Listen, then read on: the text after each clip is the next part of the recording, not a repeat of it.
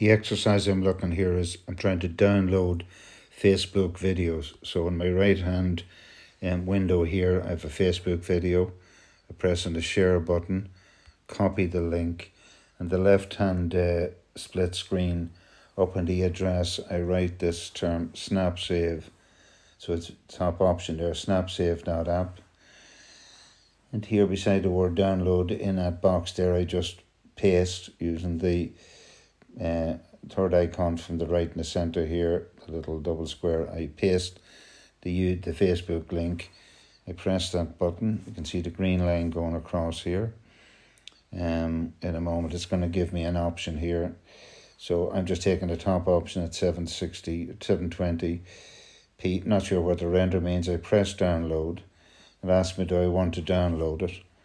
And up in the top of the screen, uh, fourth button from the right here, you'll see the little down arrow, which is the, and if I press on that button there, I can see there, there, that's where it's been downloaded. And I can go into my files app and look at all those downloads. So that's how I do that.